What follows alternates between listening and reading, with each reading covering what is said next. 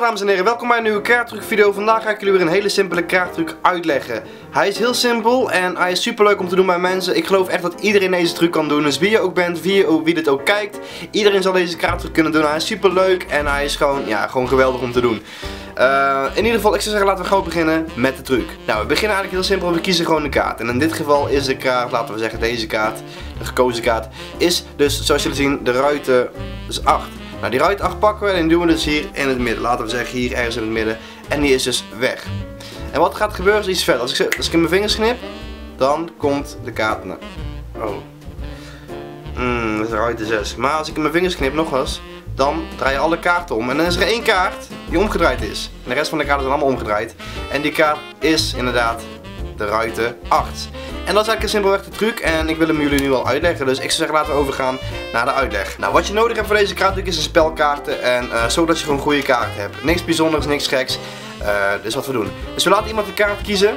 Maar voordat we dat doen, doen we eerst onze voorbereiding. En dat is, we pakken twee kaarten en die draaien we dus gewoon zo om.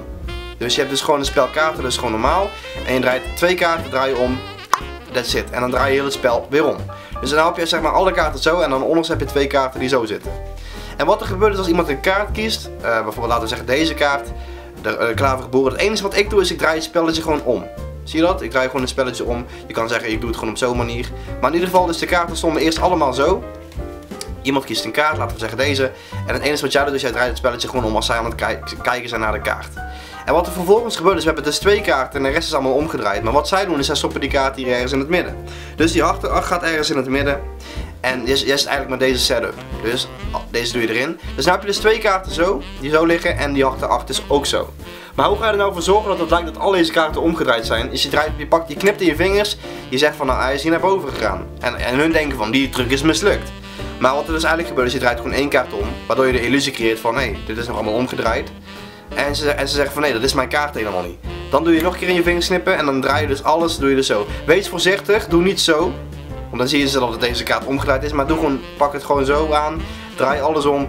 Uh, ga door alle kaarten heen. Trek hun kaart eruit. En dan zul je dus zien dat die truc gewoon klaar is. En dat ze denken van wat, hoe kan dit?